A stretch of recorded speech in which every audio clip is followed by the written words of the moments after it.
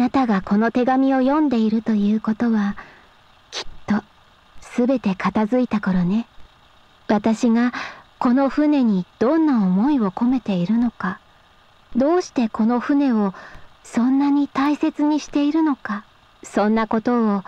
何度も聞いてきたでしょう。ケルシー、私の答えはね、このロドスアイランドという船があなたの家になってほしいと願っていたからなの。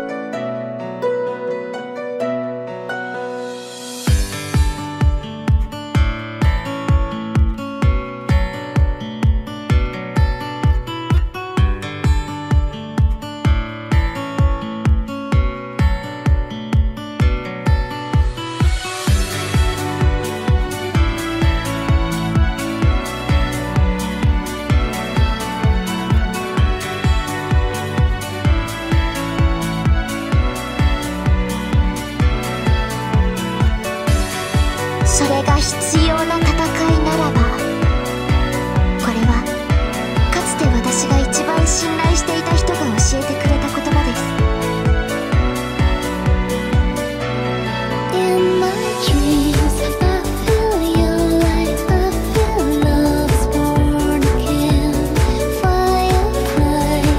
私はスカジ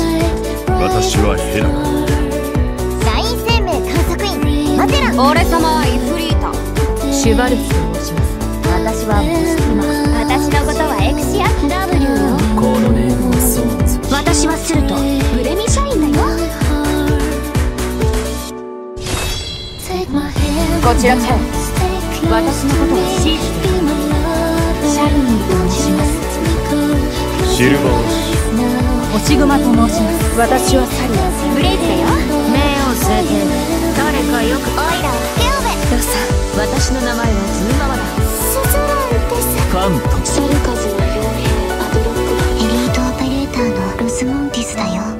アルケットですサガトンーですパッセンジャー誰に。も理解されなくとも我々はみんな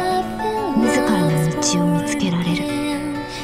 ドクター君も君の道を見つけられるだろう今でも時々ミーシャさんの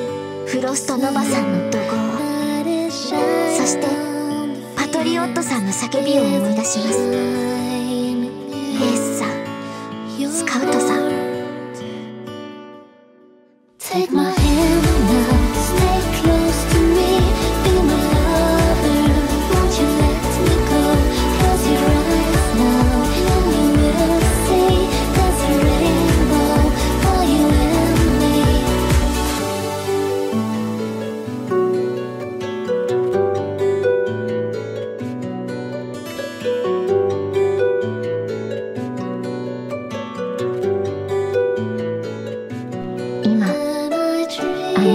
初めに抱いた疑問を